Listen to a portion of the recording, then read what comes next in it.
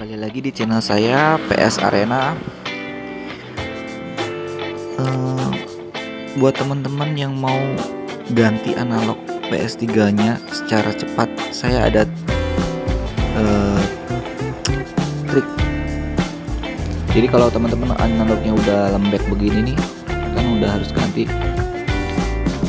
Kalian uh, teman-teman barangkali ada yang masih kurang berani buat nyabut analog sendiri karena jalurnya takut putus atau lepas.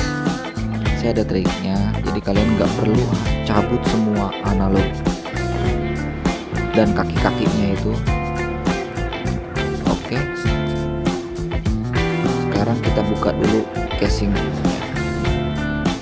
Nah setelah casing sudah kita lepas.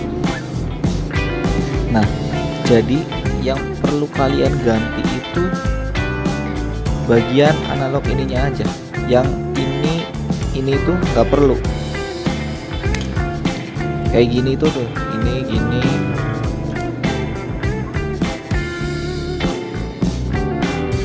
Ini gini sama ini nih. Kaki-kaki yang ini nggak perlu kalian cabut. Ini ini nggak perlu kalian cabut. Jadi kayak kalian lepas dulu ini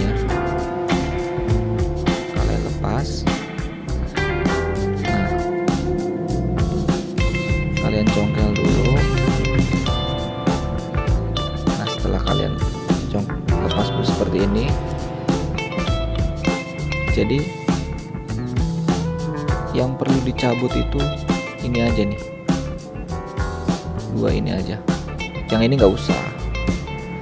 Ini biarkan saja. Cuma ini aja.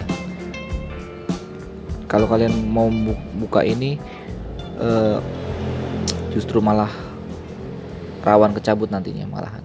Beresiko lebih beresiko oke kita cabut sekarang. Ya sekarang kita akan mencabutnya.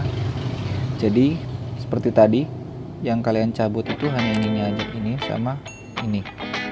Dua ini aja. Yang ini nggak usah ini nggak usah.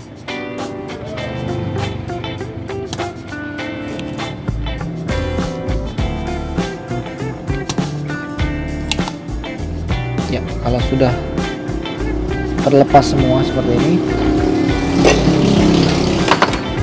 kalian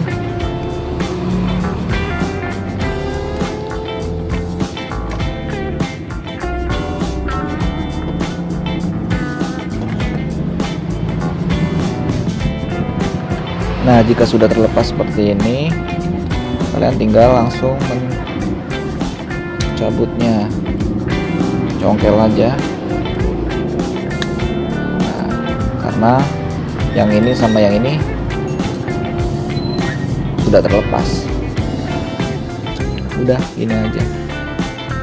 Setelah itu, kalian ambil analog penggantinya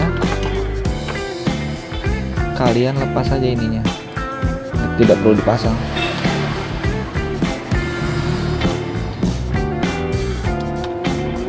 cukup ininya aja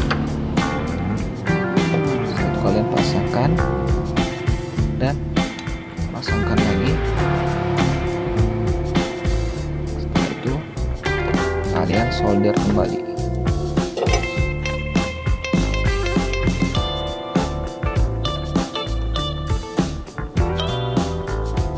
Sudah gitu aja.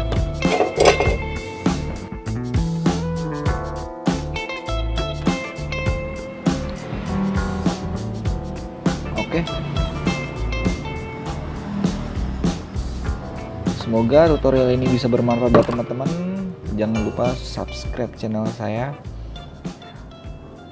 dan jika menyukai video ini silahkan di like juga. Sampai jumpa di video saya selanjutnya